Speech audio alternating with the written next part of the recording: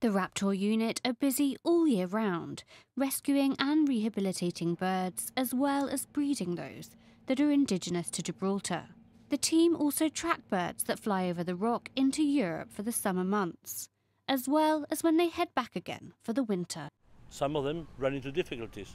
They get attacked by local yellow gulls, they get attacked by local breeding peregrine falcons, and they get knocked down, where some of them fall into the sea.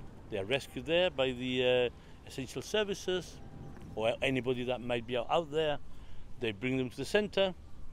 We uh, see what's wrong with them. If they've got broken bones or anything like that, take them to the vets, and then it's a rehab course. Once they are rehabilitated, and we can find out and assess that they can survive in the wild, well, they're released back in the wild. Some of them are placed, uh, we, we are placing now GPS transmitters on them, and that has given us an incredible information. So, what kind of things have you seen from these GPS transmitters that you've placed on other birds? Well, we've seen, for example, that they cross from here, say they, they, they're going to the winter quarters, they will cross over to Morocco, cross the Sahara, and they can go right down to Gambia and Senegal, and they'll all the way back again.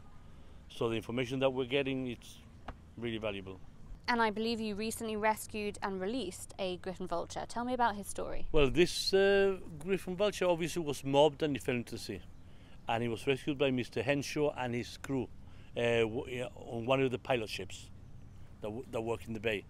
The bird was really, really tired. He was uh, dehydrated. He had a, a, leg injury as well.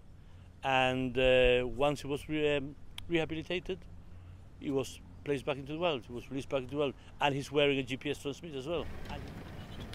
On we go! You also nurture baby birds. You have some uh, baby partridges here, I believe. Tell me a bit about those. Well, that is the uh, Barbary Partridge project. We found out several years ago that the uh, Barbary Partridge sorry, was declining, and we set about having a, a breeding program, breed and release program. How successful has the program been? It's been very successful. Very successful because I, I mean, uh, we had very, very few Barbary partridges left and now I mean practically you can see them practically everywhere. Once big enough, these baby birds will be released into the wild and join the ever-growing local population of Barbary partridges.